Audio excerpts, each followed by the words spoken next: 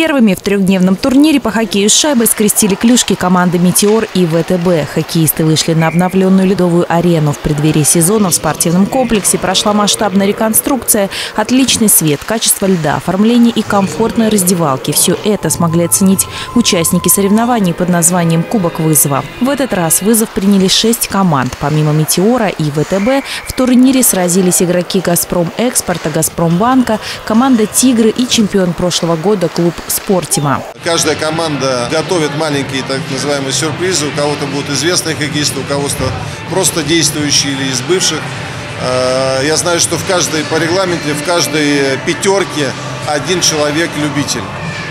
Остальные э, все же больше э, относятся к профессиональному спорту. Гости турнира томились в ожидании, чем закончится первая хоккейная схватка. «Метеор», следуя своему названию, стремительно и четко атаковал ворота соперника. Две шайбы хоккеисты забросили ворота ВТБ в первом периоде. Третья полетела точно в цель во втором отрезке встречи. Хоккеисты ВТБ попытались отыграться результативной атакой, но она так и осталась одинокой единицей на табло. В третьем периоде «Метеор» закрепил успех четвертой заброшенной шайбой. А затем участников состязания приветствовал глава Одинцовского района района Андрей Иванов и двукратный олимпийский чемпион, легенда отечественного хоккея Борис Михайлов.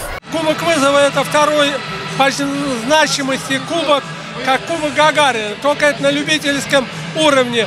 А дети, которые приходят смотреть, смотрите, как играют более старшие товарищи и занимайтесь хоккеем. Кубок вызова Одинцова – это не просто встреча вип-команд, старых друзей политической, спортивной и бизнес-элиты. Это еще и праздник спорта для тех ребят, которые мечтают о хоккее и приходят посмотреть на игру высокого уровня. Перед центральной трибуной расположен главный трофей состязания. Тот самый кубок, за который борются шесть команд, участниц любительского турнира.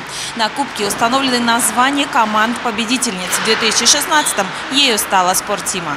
На льду неизменный капитан действующего чемпиона команды «Спортима» Михаил Мишустин. Хоккеистам предстоит не просто доказать право быть первыми, но и закрепить успех прошлого года. Соперник – неуловимый «Метеор», который также становился обладателем Кубка вызова. Как вы думаете, как сложится этот турнир для «Метеора» в 2016 Я надеюсь, что на положительно. Я думаю, будут бороться за первое место.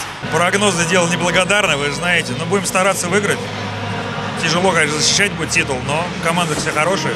Но мы, как всегда, будем стремиться к первому месту. «Метеор» открывает счет, но «Спортима» не отступает. Выровнять позиции команде удается лишь к середине встречи. Все решают буллиты, по итогам которых «Спортима» одерживает первую победу в турнире. Непредсказуемость спорта или ирония судьбы, но именно в финале «Спортима» и «Метеор» сходятся в борьбе за кубок. Действующему чемпиону удается вырваться вперед.